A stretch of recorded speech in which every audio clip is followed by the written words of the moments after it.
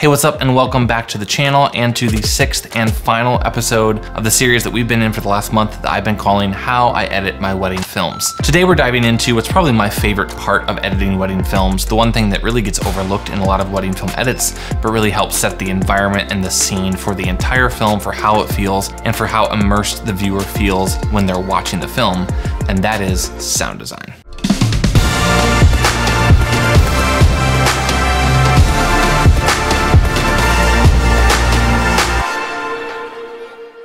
So if you've been watching along during this series, you might be thinking, Josh, we literally just talked about audio earlier, like a couple episodes ago, didn't we? And yes, you're totally correct. We talked about how I edit the story, the vows, and the musical component of the wedding films. But today we're talking about something that's so much more subtle, and that's building the auditory world in which your wedding film will live, actually creating the environment in which your film is going to live. Essentially what you're doing with sound design is you're basically creating the world beneath the world of your film. So up to this point in the series, we've talked about the audio component of wedding films. So like building the narration and the story and how important it is to kind of get a cohesive story and to create an emotive story and then to back that up with music, which sets the entire mood and then how to support that with the visual edit, how to color grade and basically how I kind of build all those major components of the wedding film. But what that's lacking so far is actually feeling like you're watching the film from the location that it was filmed. A film with just music and narration can be super powerful if you get a really really good visual edit, if you've got a really good story edit going and you've supported that with some incredible,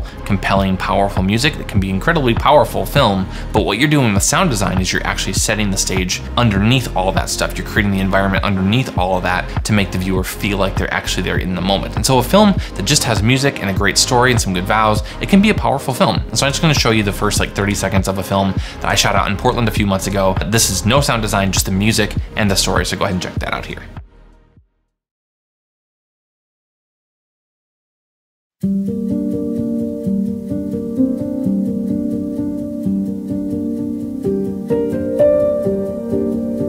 I had just started going to this new church there in Las Cruces. Someone invited me to go to like a young adults thing, and I was just like, eh, I'm not really into that. But like Jacob kept inviting me, so I, I went. As soon as I showed up, first thing I see is her in her black jacket. Yeah, your black jacket.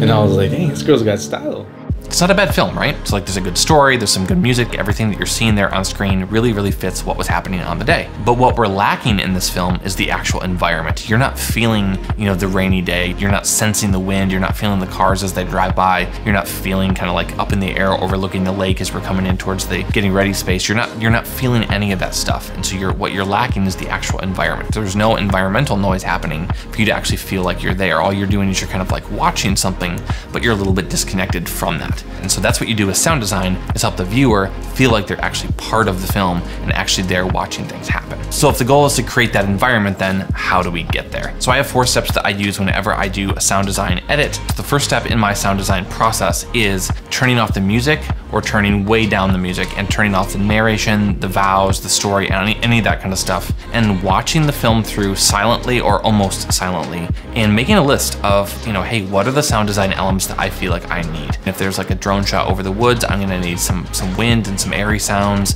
If I'm, you know, out in the forest and there's birds chirping or I knew that there was birds chirping on that day, um, I might kind of add that to my list. If I'm shooting inside, I'm gonna add some room sounds and that kind of stuff. Basically any sort of sound design elements that as you watch the film through silently, you go, man, if I could hear this, it would make me feel like I'm in that environment. Cars passing, ocean waves, anything like that that's gonna add texture and that ambient sound to the wedding film. So I make a list of that. And then step two in the process is going through and finding and adding all of those ambient sounds to the wedding film. So I'll go through and I'll add wind noise, I'll add ocean and water, waves, I'll add birds chirping. If we're downtown in the city, I might add some cars and sirens and you know just kind of city noises and all that. Basically any sort of ambient environmental sounds that's gonna kind of set the stage for the entire film. And I try to do this for the entire film, other than maybe like a big element on the dance floor when it's just hard hitting music constantly, other than kind of any of those big, you know, big ceremony moments or big dance moments or anything. I'm trying to find texture and environmental sounds to create a bed of sound over the entire wedding film. And then once I've done that, I can move on to step three in the process, and that's adding a bunch of texture sounds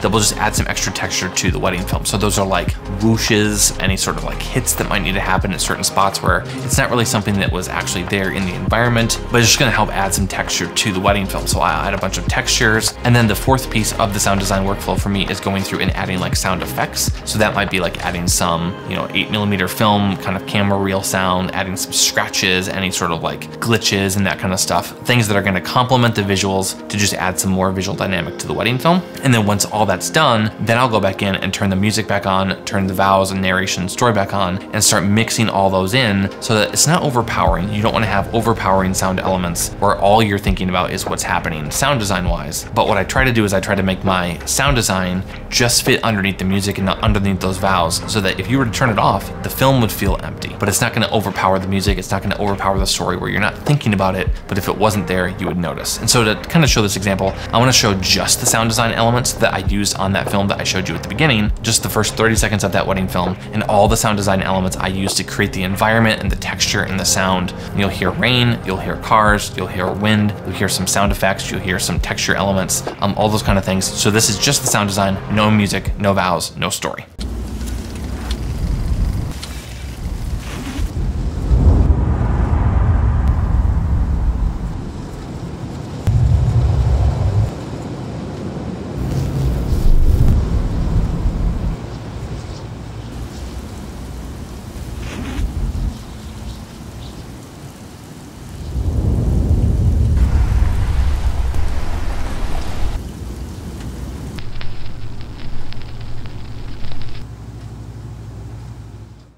Doesn't that feel so much more like you were actually there, you're actually watching things when the shot kind of cuts to the drone, the you know environmental noise of the cars cut out and you just hear kind of that wind overhead and then cuts right back into the cars and you hear the cars going by and the rain as you're like watching the raindrops fall. So then once you have those sound design elements, then we add the music, we add the vows and the story back in, and then you have a final product that sounds something like this.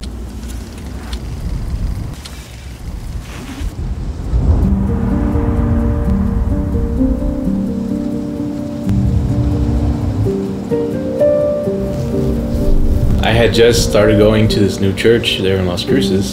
Someone invited me to go to like a young adults thing, and I was just like, I'm not really into that. But like Jacob kept inviting me, so I, I went. As soon as I showed up, first thing I see is her in her black jacket. Yeah, your black jacket. And I was like, dang, this girl's got style. And there we go. That's the entire first 30 seconds of a Shalani and Michael's wedding film, complete with sound design, music, and the narration, all those pieces mixed together to create an environment that's immersive, that feels like you're there, but also music and story that adds emotion, that adds power, that helps you really get immersed in the entire wedding film.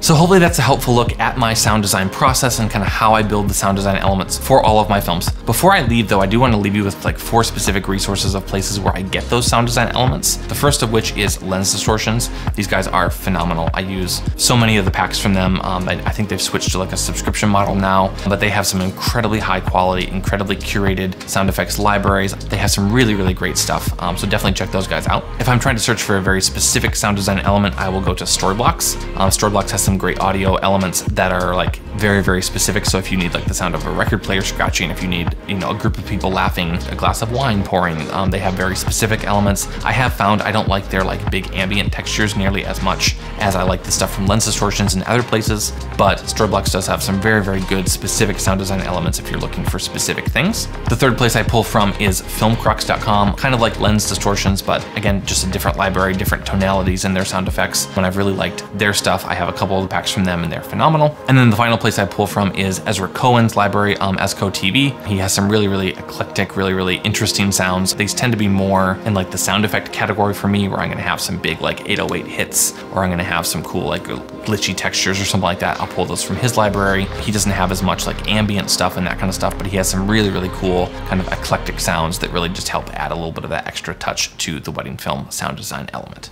And that does it for sound design. Hopefully this has been super helpful. If it has, feel free to drop a like on the video. Let me know that you enjoyed it. If you've been a fan of the series, if you followed along, if you learned some stuff, please let me know in the comments. It just really encourages me to know that you're learning things, that you're growing, that my content is actually helpful for you. Hope all of you in the US have a great holiday weekend, and I'll see you right back here next week. Peace.